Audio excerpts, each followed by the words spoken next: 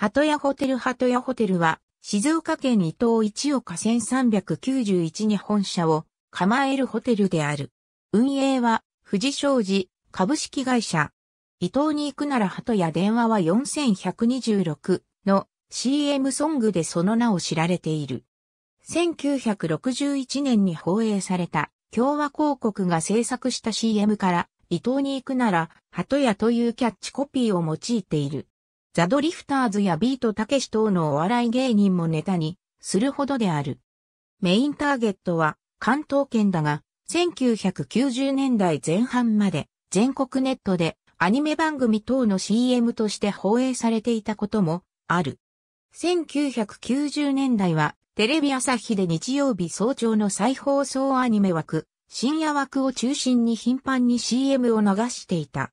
また同じくテレビ朝日系で月曜日から金曜日まで午前9時半から放送の帯番組100万円クイズハンターの商品として毎週木曜日放送分に鳩屋または三鳩屋の宿泊券が提供されていた。現在は静岡県内の民放テレビ局のほか関東地区ではテレビ朝日、テレビ東京、テレビ神奈川でスポット放映されている。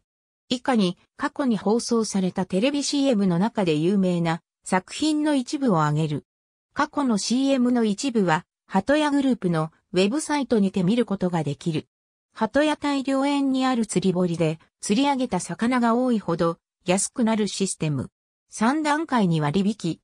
釣り堀料金なお2018年現在は屋外プールを冬季のみ釣り堀に転用しているため、営業期間は12月から3月の土日のみとなっている。